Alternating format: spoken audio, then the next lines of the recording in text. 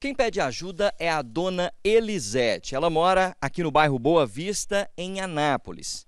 No mesmo lote, na parte da frente, vive a mãe dela, que é surda muda, e ela aqui aos fundos.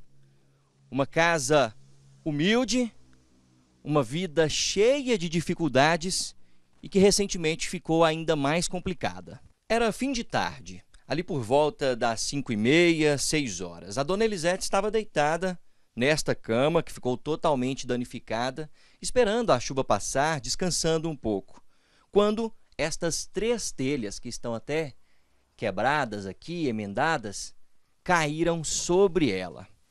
Como que foi isso, dona Elisete? Ai, foi assim, é, a hora que eu vi a chuva, que a chuva estava ventando, que eu tenho medo, né? Aí eu tomei um banho, coloquei uma roupinha de dormir, deitei e fiquei fuçando o celular no plantão, né? Que eu gosto de olhar o plantão. Aí, não sei o que, que aconteceu. Quando eu acordei, eu estava no plantão, eu só lembrava dele, eu pedindo socorro, socorro, socorro. Aí os povos falando, aonde você mora, onde você mora, e eu só lembrava da rua 19, da rua 19.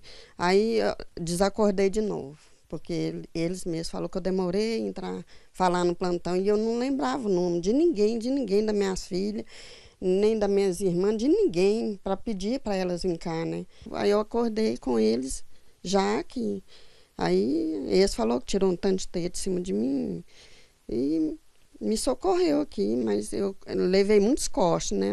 Não tem jeito de mostrar. A única renda aqui é a aposentadoria da mãe dela, que mal dá para os remédios que a idosa tem que tomar todo mês. Nem água encanada tem na casa. Dona Elisete tem que pegar todo dia na cisterna.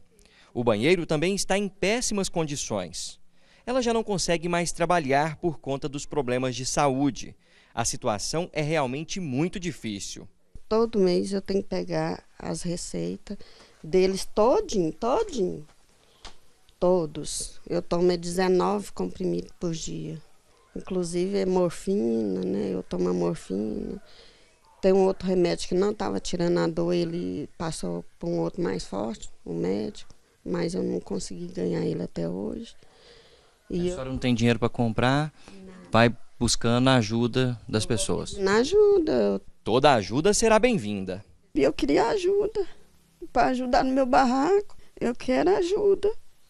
Eu preciso dessa ajuda.